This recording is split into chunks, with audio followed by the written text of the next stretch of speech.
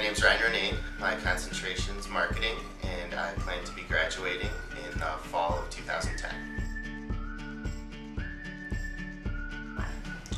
I decided I wanted to go into marketing uh, my freshman year when I was actually at a different school, and that's the concentration I've kept here. Um, I decided this back in high school because our high school offered marketing classes, and uh, I just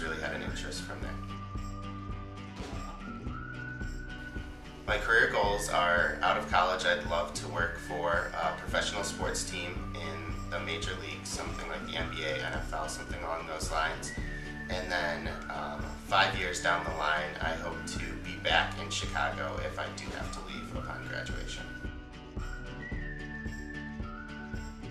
I've really enjoyed Columbia. I uh, came from a school that was much bigger and I've really got personal attention here and the teachers have a lot of connections within Chicago, so that's afforded me opportunities to work with them, and um, just the guest speakers they bring in and everything are just great to network and uh, really grow as a professional. Being in a professional environment like Chicago, which Columbia is really in the heart of the business district in the South Loop, really affords you a lot of opportunities, especially if you want to be living in the Midwest or Chicago specifically upon graduation. You can make all those connections that Columbia, uh, Columbia already has established, and you can take those connections and get internships, and upon graduation, hopefully a full-time job. This semester, I'm actually on my fifth and sixth internship. I've had two internships that I've actually gotten through Columbia um, in my two semesters here. I got one through Columbia Works with the Chicago Bears, and I also got one through Dave Gordon, our internship coordinator in the department, with uh, the Chicago Slaughter, a professional indoor football team.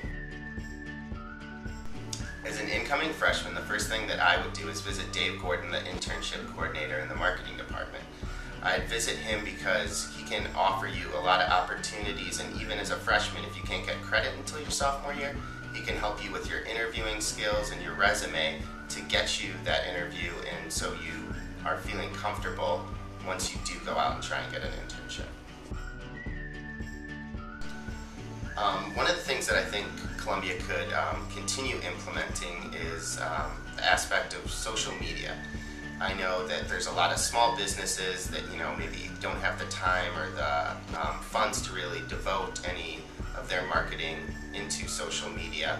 So I think as students, we're on the cutting edge, and at Columbia, we could um, take that opportunity in a class to possibly get firsthand um, experience working with these different companies and really see results and put something in our portfolio and you know just put something to build our resume.